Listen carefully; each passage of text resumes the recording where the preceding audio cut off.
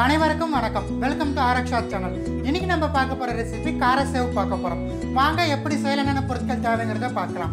கார சேவ் செய்ய தேவையான பொருட்கள். நான் வந்து இன்னைக்கு ஒன்றரை கப் போல கடலை மாவு எடுத்திருக்கேன். அரை கப் பச்சரிசி மாவு எடுத்திருக்கேன். தனி மிளகாய்த்தூள் ஒன்றரை டீஸ்பூன் எடுத்திருக்கேன். லேசாக பொரிச்ச மிளகு வந்து அரை டீஸ்பூன் எடுத்திருக்கேன். பெருங்காயம் ஒரு பிஞ்ச் எடுத்துக்கலாம். தண்ணீர் தேவைக்கேற்ப எண்ணெய் தேவைக்கேற்ப உப்பு தேவைக்கேற்ப. வாங்க நம்ம இப்போ ப்ராசஸ்குள்ளே போகலாம் ஸோ ஒரு பெரிய பவுல் எடுத்திருக்கேன். அதில் வந்து நம்ம எடுத்து கடலை மாவை ட்ரான்ஸ்ஃபர் பண்ணிடலாம். பச்சரிசி மாவு சேர்த்துக்கலாம். தனி மிளகாய் தூள் மிளகு சேர்த்துக்கலாம். பெருங்காயம் சேர்த்துக்கலாம். உப்பு தேவைக்கேற்ப நம்ம சேர்த்துக்கலாம். மாவை நல்லா கலந்து விட்டுடலாம். கொஞ்சம் கொஞ்சமாக நம்ம தண்ணி சேர்த்து சப்பாத்தி மாவு பிணையிறது போல் நம்ம பிணைஞ்சு வச்சுக்கலாம். ஸோ மாவு பாருங்கள் நல்லா சப்பாத்தி மாவுக்கு மாவு பண்ணிடுறது பிணைஞ்சிக்கிட்டேன். இது வந்து கிட்டத்தட்ட நம்ம கரெக்டான அளவு சொல்லணும்னா முறுக்குக்கு மாவு பண்ணிடுறது போல் பிணைஞ்சிக்கணும். உங்கள் கிட்டே வந்து காராசை பிழிகிற கட்டை இருந்தால் பிழிஞ்சிக்கலாம் இல்லைன்னா நம்ம வந்து நார்மல் முறுக்கு பிழிகிற இந்த அச்சியில் நம்ம பிழிஞ்சு வச்சுக்கலாம் இது நல்லா ஆயில் வச்சு நம்ம க்ரீஸ் பண்ணிட்டோம். ஸோ வாங்க இப்போ எப்படி நம்ம காராசாவை பிழிகிறதுன்னு பார்க்கலாம்.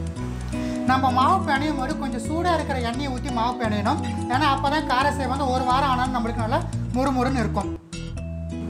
ஸோ காராசேவை நம்ம விட போகிறோம் நல்லா கவனிச்சுக்கணும். காராசேவை வந்து பாதி வடச்சத்தி அளவு தான் நம்ம வந்து காராசேவுக்கு எண்ணெய் விடணும். ஏன்னா போ திரும்ப நல்லா பொங்கி வர ஆரம்பிச்சிடும். கண்ணை நல்லா ஹீட்டில் இருக்கணும். ஹீட் ஆனதுக்கப்புறமா மிதமான சூட்டில் வச்சுட்டு நம்ம காராசேவை பிழிய ஆரம்பிச்சிடலாம்.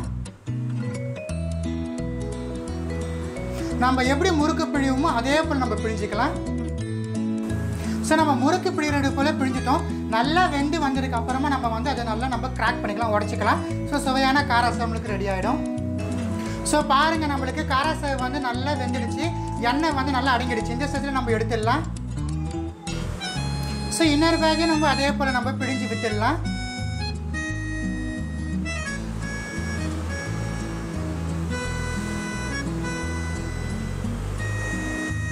ஸோ இந்த பேக்கை நம்ம நல்லா பிழிஞ்சு வச்சாச்சு இதுவும் வந்து நம்மளுக்கு நல்ல கோல்டன் ப்ரௌன் கலர் ஃப்ரை ஆகி வந்ததுக்கு அப்புறமா எண்ணெய் நல்லா அடங்கினதுக்கு அப்புறமா நம்ம எடுத்துடலாம்.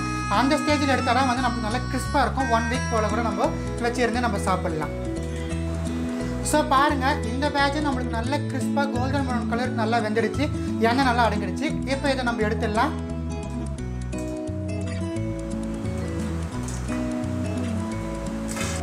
ஸோ பாருங்கள் ரொம்ப சுவையான காரா சேவ் உங்களுக்காக வேண்டி நான் செஞ்சு காமிச்சிருக்கேன்.